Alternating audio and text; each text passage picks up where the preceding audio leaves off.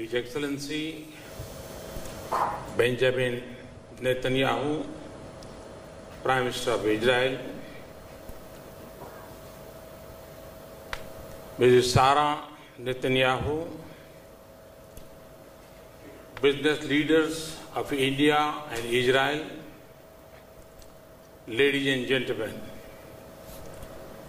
I welcome Prime Minister Netanyahu and members of the Israeli delegation on behalf of all my countrymen. It is an added pleasure to be with the CEOs of both countries. Prime Minister Netanyahu and I have just completed a fruitful interaction with Indian and Israeli business leaders through the bilateral CEOs forum. I have high hopes from this interaction and partnership of CEOs which started last year.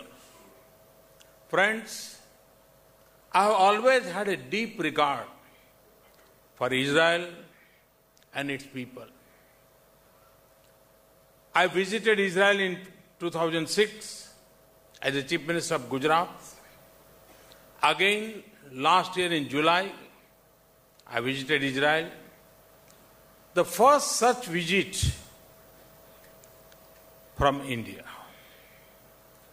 It was a very special visit. I experienced at close quarters the remarkable spirit of innovation, enterprise, and perseverance that drives Israel. There is new energy and purpose that has invigorated our ties over the last few years. It will help take over cooperation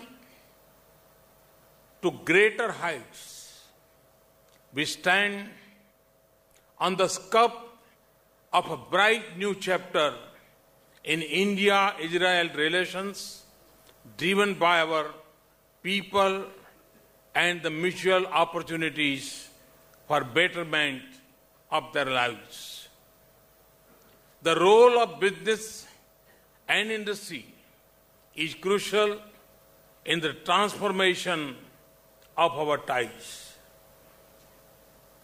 It is your combined efforts that will add real value to our interaction and produce concrete success.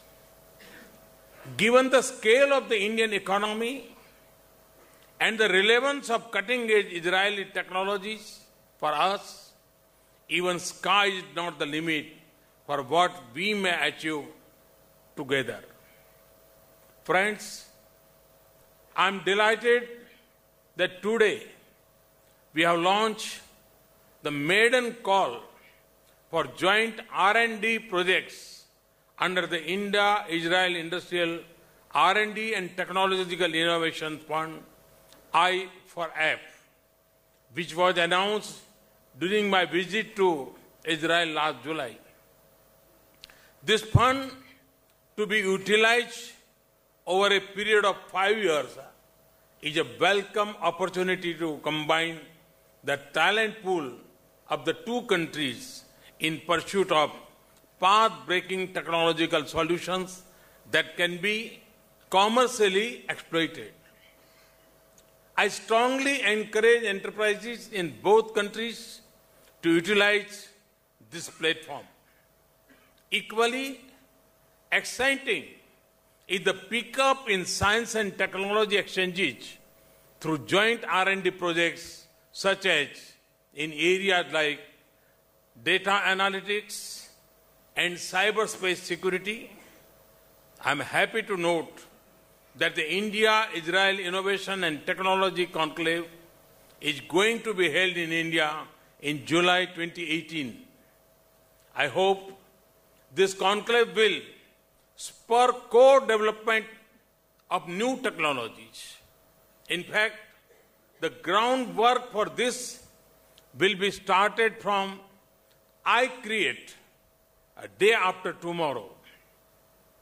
We are both going to Gujarat to inaugurate this campus, which is being developed as a leading innovation hub. Friends, I'm talking Prime Minister Netanyahu to rural areas of Gujarat because the real power of technology and innovation lies in the benefit it brings to the common man. Israel is universally known as a startup nation with a unique ecosystem for innovation and incubation. The credit for this goes to the Israeli entrepreneurs. You have made Israel a strong, stable, and innovative economy. You have made a country of 8 million people sign as a global powerhouse of technology. Whether it is water tech or agri tech, whether it is a food production, its processing or conservation, Israel has been shining example with new breakthroughs and advances. Whether it is physical or virtual security, whether it is on land, water or space, your technology has won admiration. In fact, hailing from a water deficit state in India, I have particularly admired Israel's water efficiency. Friends, in India, we have been taking steady steps over three years at both macro as well as micro level to make a difference. Our motto is reform, perform, and transform. The results are twofold. On the one hand, our procedures, processes, and systems are getting aligned with the best in the world. Secondly, we are able to maintain the pace of faster growth. In spite of deep structural reforms, we are among the fastest growing major economies. FDI inflows are at all time high with 40% rise. Tremendous work is being done to skill and employ the youth. 65% of our population is below 35 years of age and is hungry for technology enabled growth. This is our greatest opportunity as well as well as challenge. For this purpose, we have started the Startup India campaign. There is a vast potential for India-Israel partnership in this area. The India-Israel Innovation Bridge will act as a link between the startups of the two sides. I have been saying that Indian industries, startups, and the academic institutions must collaborate with their Israeli counterparts to access the huge reservoir of knowledge. India has size and scale. Israel has sharpness and age. There would be many ideas and technologies that can be useful for or can be commercially scaled, scaled up in India. Friends, today we have emerged as the sixth largest manufacturing nation. But we are not done yet. We are positioning India as a global manufacturing hub, leveraging the energy of our youth. The Make in India initiative is designed to help achieve this. Through these initiatives, combined with the new ecosystem of a formal economy and a unified tax regime, we are trying to create a new India. We are particularly keen to develop India into a knowledge based, skill supported, and technology driven society. A grand beginning has already been made through Digital India and Skill India. To enable this transformation, in the last few years, my government has undertaken substantial reforms. We have resolved a number of regulatory and policy issues facing the businesses and companies.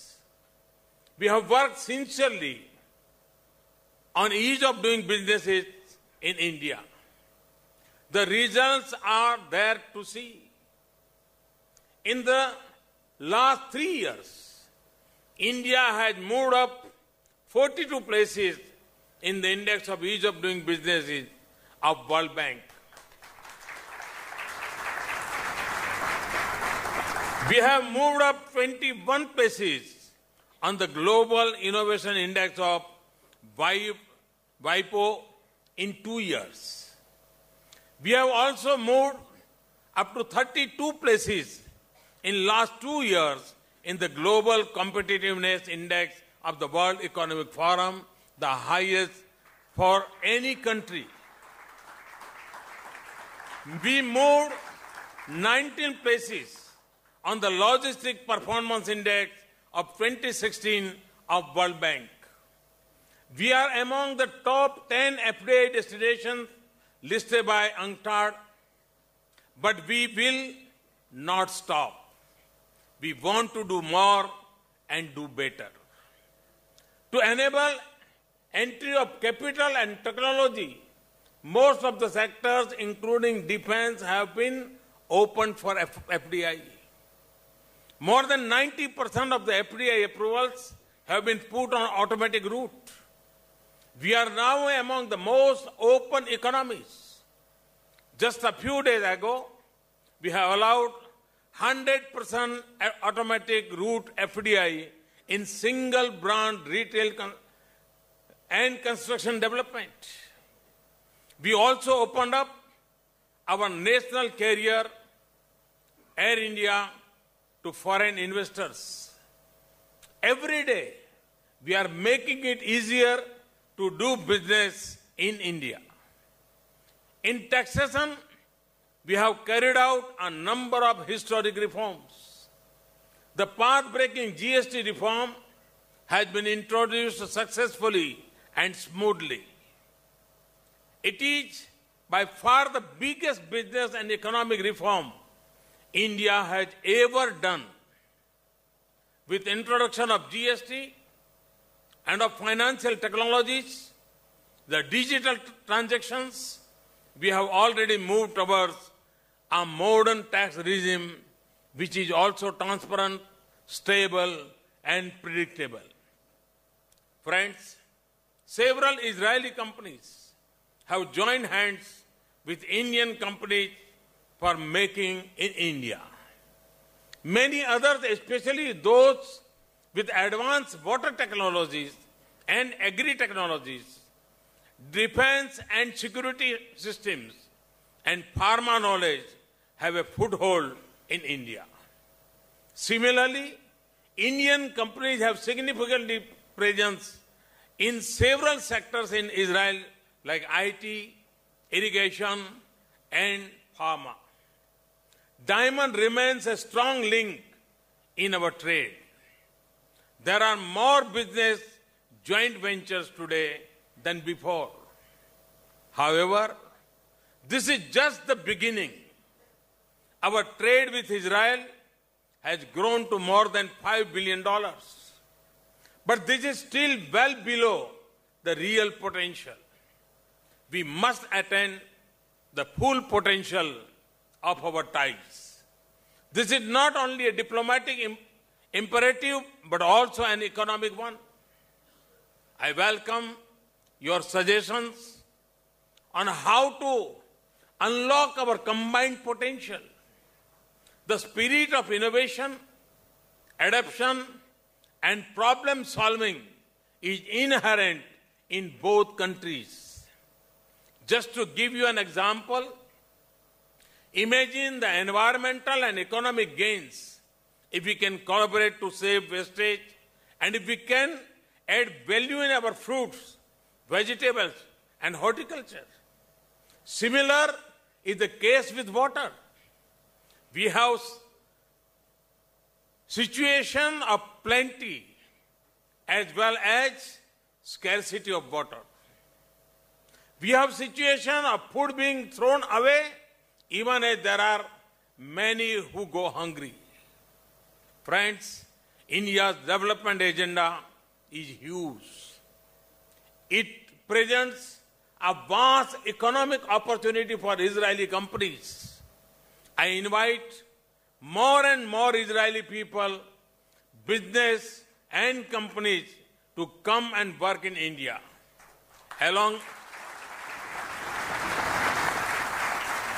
along with the government and people, the business community of India too is keen to join hands.